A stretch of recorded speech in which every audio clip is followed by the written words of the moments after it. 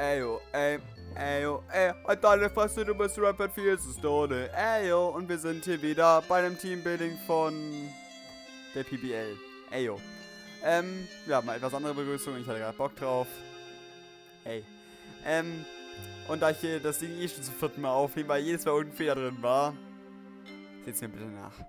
Ähm, ja, wir haben hier den dritten Spieltag gegen die Borussia Donphan. Hier das geile Bundesliga-Duell zwischen Stuttgart und, Don, äh, und Dortmund. Haben wir ja und diesen, dieses Wochenende. Ich glaube sogar an exakt dem Tag, wo es hochkommt, der Kampf. Am Samstag müsste es sein. Geil. Haben wir erstmal schon die Prediction für den, äh, für den Kampf, würde ich mal sagen. Ähm, ja. Dann gehen wir mal durch. Mein Team kennt ihr ja schon, hatte ich jetzt schon zweimal vorgestellt. Brauchen wir jetzt nicht nochmal, oder? Falls doch, Schreibt es mir in die Kommentare, wenn ich es jedes Mal wieder neu vorstellen muss. Ihr Blödis. Ähm, ja, haben wir ihn Bulu, Volkenien, äh, Mega Schlappor, Koba mit dem Setstein, Oma mit dem Setstein, Latios, äh, Sabayone, Vesprit, Rotom, Sneebel und Donphan. Donphan, oh yeah. Sein geiles Signature. Ich durfte mein Signature nicht haben, dank Ackermask. Danke. Ähm, und ja, ich will hier mal durchgehen, äh, was ich in seinem Team so sehe und was nicht. Ähm, also, Bulu habe ich hier auf jeden Fall gesehen, weil Bulu einfach immer gut ist. Hatte ich auch selbst schon in den Draft liegen. Das ist gut. Volcanen ist sehr gut gegen mich. Wenn sich mal mein Team anguckt, ich komme, selbst mit Soulfest Despotalem Sandsturm, komme ich nicht in eine Steam Eruption rein. Ähm, das eins, eins, die beiden wenigen Mons, äh, die ich reinkomme, in äh, Steam Eruption, also gut reinkommen, sind Bisaflor und Kyurem.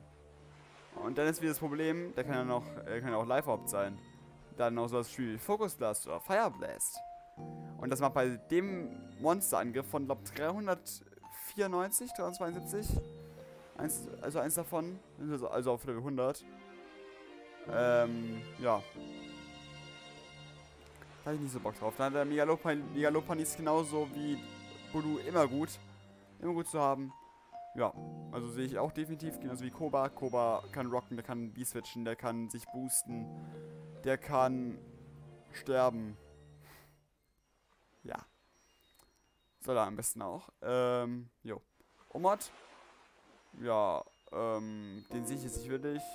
Ist halt er ist okay gegen mich, aber ist nicht so krass. Sehe ich jetzt, wie gesagt, nicht wirklich. Da haben wir Lati. La äh, Lati ist auch mal gut, vor allem wenn man Bisaflor hat. Gegen Bisaflor ist Lati immer gut. Heißt, ich sehe Lati jetzt 100% eigentlich, weil er muss mit irgendwas Lati wegböllern und da ist Lati eigentlich, äh, er muss mit irgendwas Bisa wegböllern und da ist Lati eigentlich das Beste für. Dann haben wir, äh, Sabayone. Sabayone kann Webs legen, er kann Belly Drum und er kann supporten. Und ich hoffe, dass es eine, dass es entweder die erste oder die dritte Variante ist, weil auf die zweite habe ich echt keinen Bock. Da muss ich dann viel zu viel abwerfen, wahrscheinlich. Und weil ich zwei Prios dann dabei habe, also wer jetzt schon wissen, was ich so dabei haben werde. Hey. Ähm. Ähm, jo, Vesprit sehe ich nicht wirklich, Rotom sehe ich nicht wirklich beide, einfach weil ich meine Dark Types habe. Ich habe da Krebutak, wo keins von beiden. Allgemein kommt bei ihm fast nichts in den Knockoff rein, bis auf Schlappohr und, äh äh, Koba will, dann will ich nichts in den Knockoff reinkommen. Vielleicht höchstens noch, äh, höchstens noch Bulu, aber, oder, oder Sava Junge vielleicht noch, aber die fressen halt auch von einem Choice-Band viel zu viel, Ability und sonst was.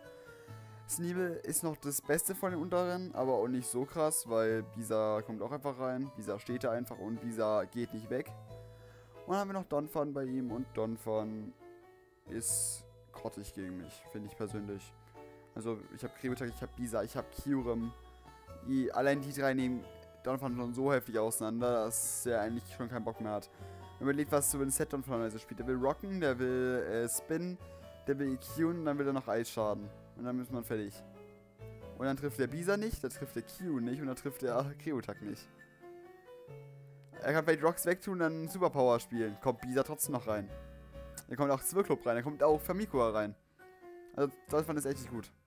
Auch wenn es ein cooles Mon ist, ich liebe das Ding selbst im Draft liegen. Aber gegen mich ist echt nicht gut. Dann hier haben wir mal eins weiter. Und dann seht ihr wieder das wunderbare Layout, so wie immer. Wunderschön zusammengestellt. Spezialeffekte. Ähm, ja, das Mann ist Bisaflor. Und ja, Bisaflor Full Fist Death. Ich muss im äh, Schlappau reinkommen können. Und am besten auch noch in Toro. Da lohnt sich Festive Bisa eigentlich am besten, weil das Ding einfach in beide richtig gut reinkommt. Mit Matchbomb und HP Fire treffe ich alles in seinem Team okay. Also beziehungsweise normal effektiv. Hab noch die Egelsamen, falls ich äh, auf irgendeinen Matchup keinen Bock habe oder einen Gegner einfach, äh, äh, einfach leechen will. Dann hast du die Tele zum wieder hochheilen. Dann haben wir Heatran als den nächsten zweibeinigen Boy, der ja auch immer, der immer noch sehr schön mit Bisa äh, dann passt. Ich finde es ein, ist ein sehr schönes Pairing in Draft liegen. Eins der wenigen, die mir noch besser gefallen, ist Toro plus Heatran. Hatte ich selbst auch schon, ist richtig geil. Vor allem auch, wenn man dann auch Setra King oder so dazu hat.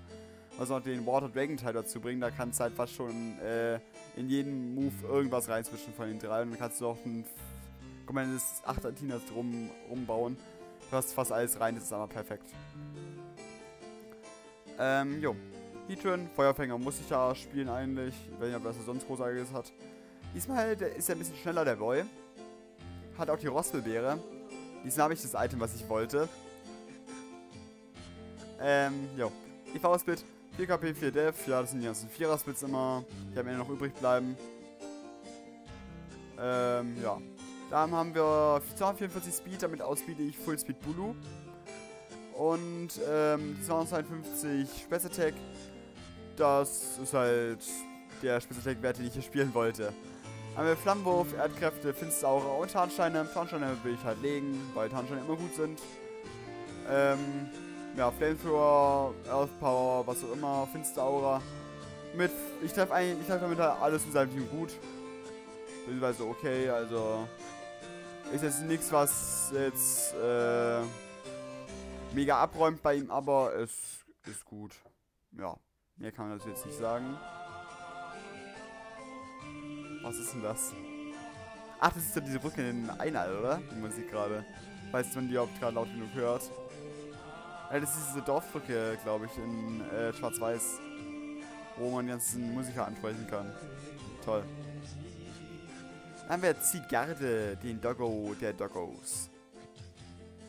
Ähm, 10%, beziehungsweise 10%.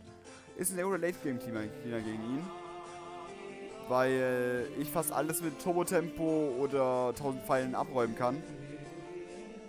Jumbo habe ich dann nur wegen Bulu genau, genau deswegen habe ich auch 188 Space Attack Investment, weil ich so ähm, Bulu mit, also 188 Space Attack Live Orb Stammwoge reicht aus, um einen Full KP Bulu One-Hit wegzuräumen. Und das ist geil. Weil der, ähm, der wird reinswitchen in Zigarre, weil der da nur mit den 1000 Pfeilen rechnet.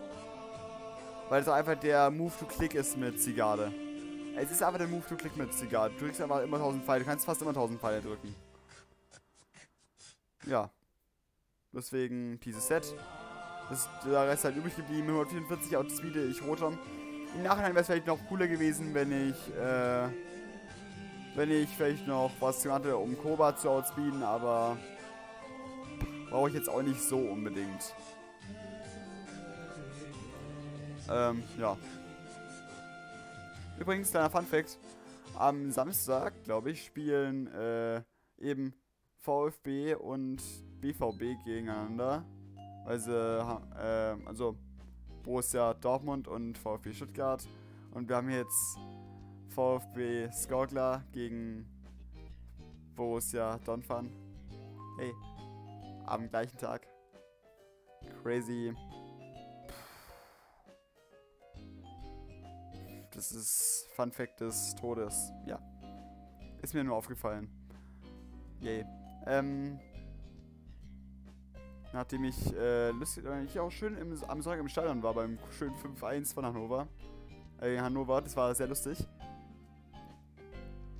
War wirklich sehr lustig. Ähm, Grüße an Flipsy hierbei. Der guckt meine Videos normalerweise, weil ich es im Kopf habe.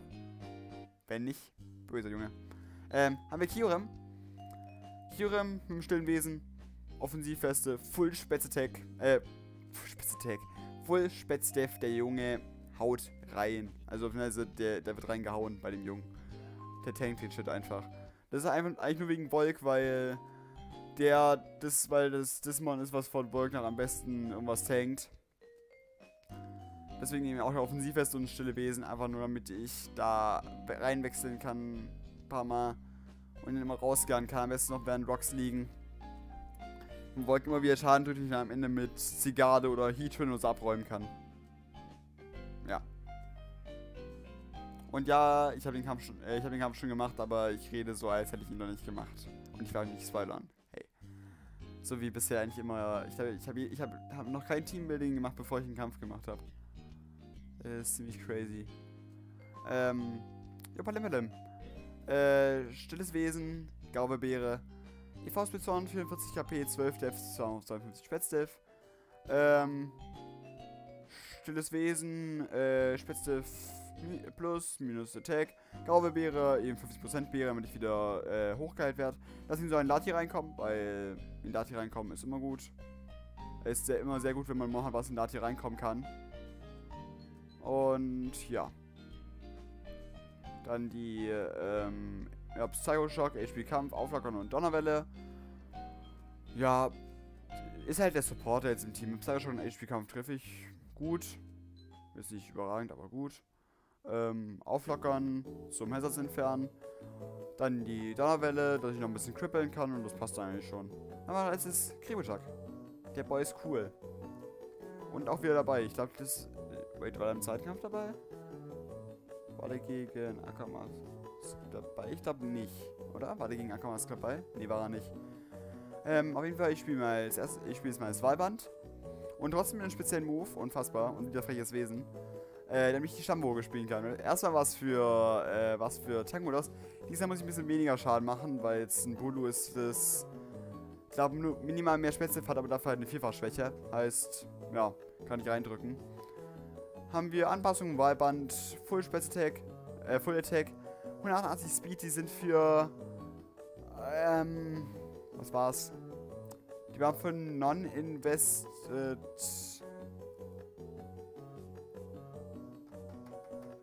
Wofür waren die nochmal? Oder wofür waren die? War die für Slurpuff? Sorry, ich weiß gar nicht, wofür das war. Jedenfalls, es hat einen Sinn, wofür das war. Ich habe es ich eigentlich nur mal gestern angeguckt, aber ich weiß nicht mehr genau, wofür das war.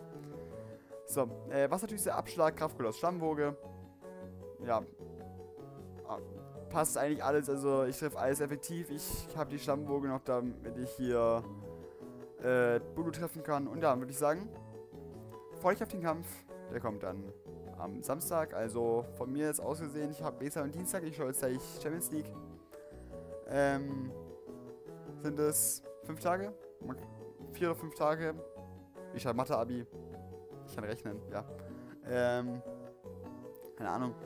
Jedenfalls, dann euch noch einen schönen Tag, schönes Wochenende und bis morgen dann zum Kampf. Bye.